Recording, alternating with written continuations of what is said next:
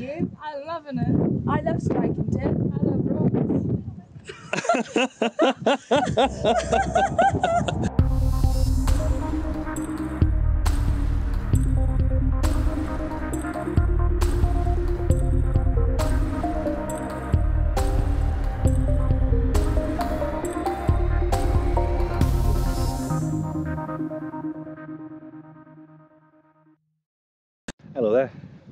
Brooke, I'm a geologist, and this is day three of the Oxford University first year's field trip to Pembrokeshire, also the last day.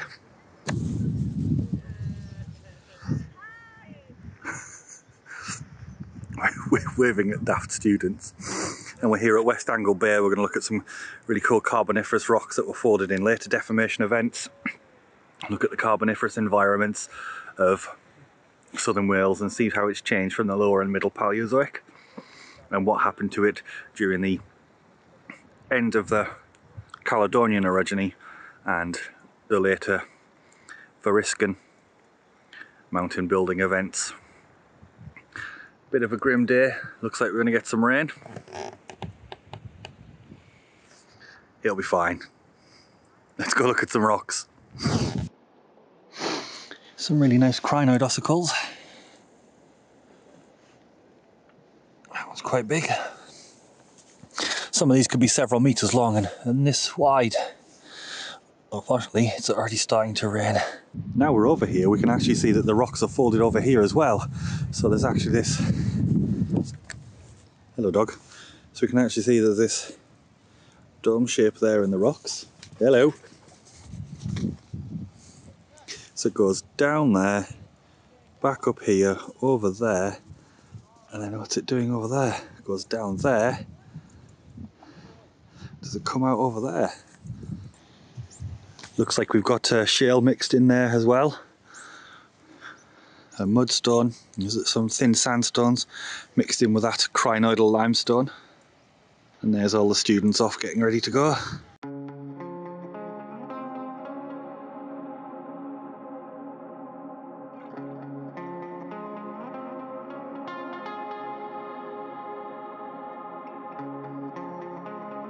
They've got to map all the structural features, see how many thrust faults they can find.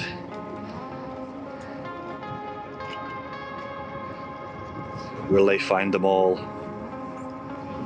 Will we get rained on again? Probably.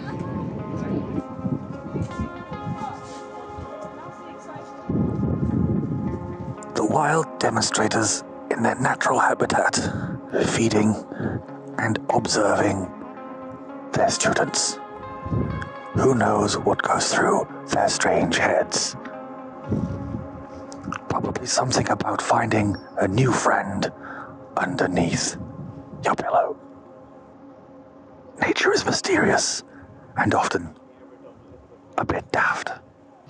Here we're looking down on a bedding plane of this lovely carboniferous limestone, and all of these things you can see in front of us are trace fossils that are weathering out of creatures that were digging through the mud 350 million years ago, or whenever it was this was deposited. I think it's lower carboniferous. Absolutely fantastic.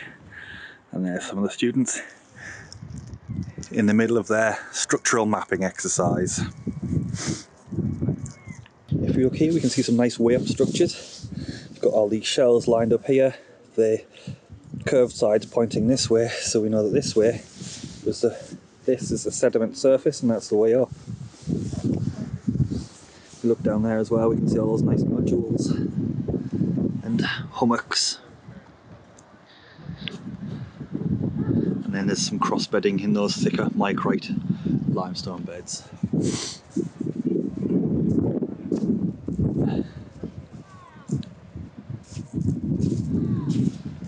Don't know if anyone's figured it out yet, but right that flat wall right in front of me is a thrust fault. These surfaces here are called slicken lines, and that's where you've had mineralization by fluids running along the thrust fault.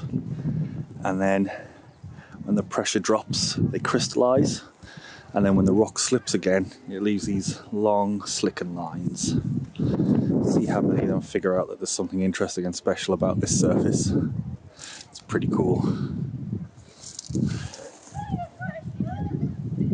All this spiderweb mineralisation too. This is another sign that we're stood on a major fault, major, major structural feature.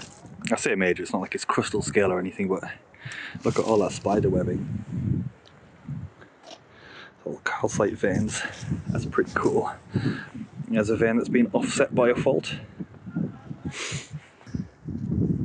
Also got these strange radial rupture features that me and Joe noticed a few years ago. They're all over the area, concentrated in this band, so I wonder if there's something to do with the thrusting. I'll have to ask structural geology people, see what they think. Oh, it's turning out nice weather now.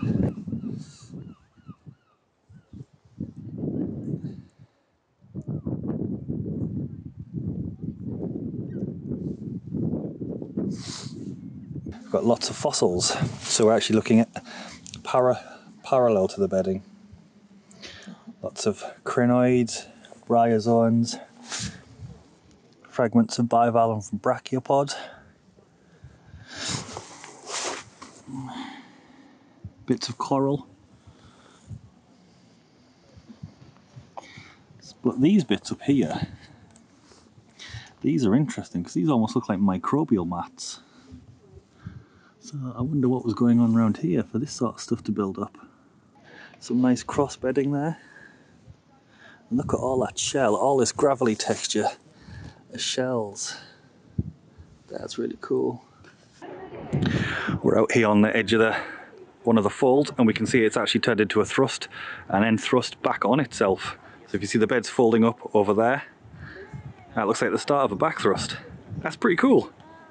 See this beautiful folding there on the other side of that back thrust. Absolutely fantastic, stunningly beautiful. Absolutely incredible. Oh gosh, people wonder why I like rocks so much. What an absolutely beautiful location. I'm very lucky that I get to do this as my job. And look at those incredible rocks. Oh man, look at the folds in them. Full of fossils as well. So exciting. So we've got the back thrust fault there, this big fold here, this big fold here, and there's another fold and thrust over there.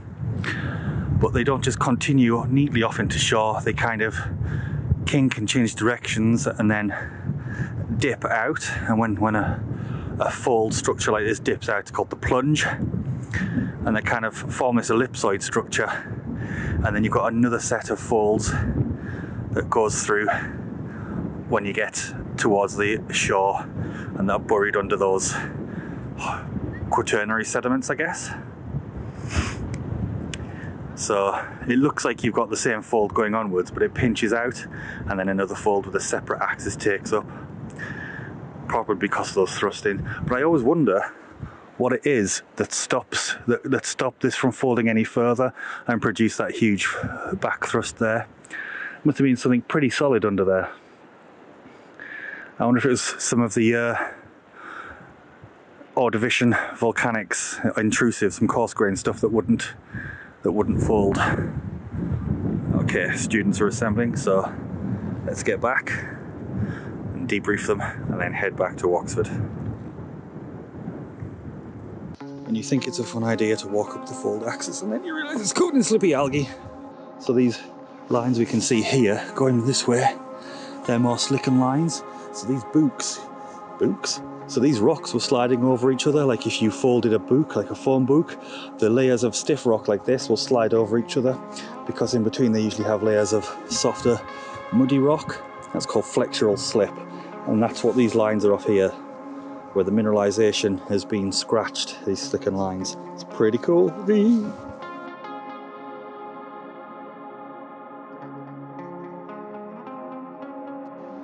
Students are getting debriefed. Demonstrators are getting desperate. Well, I found some really nice trace fossils. Look at them. Ah, Look at his little face. He loves explaining things. These things are called tension gashes. It's where the rock was stretched and then it's been filled in by minerals like calcite. Over here we found a really nice orthocone nautiloid. So that's a creature like a squid or like a modern day nautilus, but with a really long straight shell. And this one's been chopped in half and eroded away. The shell was originally made of aragonite, but it's now been replaced by calcite. And those dark bits were chambers that were filled with fluid. And the nautilus, no, nautiloid, used the density of that fluid to control its buoyancy in the water. Oh, really cool. So that means as well that this is this rock was deposited in a fully marine environment. Because cephalopods like nautiloids and nautiluses and squids only live in the sea. Here's some more nice fossils. This one looks like it could be a bit of an oyster. And here we've got bryozoa, lacy fenestrate bryozoan. So I'm wondering if there's more oysters on here. We were starting to get a hard ground developing, which means that there were probably significant periods of time between deposition of these different beds. Cool. Some, some more in, exciting environmental information. Oh, so exciting. Enjoying our time out in the sunshine before we have to get back on the bus and go back to Oxford. The organised chaos that is the end of field trip photo. That's the end of the field trip. Hope you've enjoyed coming along and looking at the rocks with us. I've certainly enjoyed talking about the rocks. I always do, I like the sound of my own voice. so if you've enjoyed the video, leave a thumbs up, share the video with your friends, subscribe to the channel so you don't miss out on any more cool geology videos, and leave any comments below if you want me to talk about particular rocks or locations or anything. Till next time, see you later. Bye bye. I love you, Brooke. Say bye bye, Connell. Bye bye, Connor.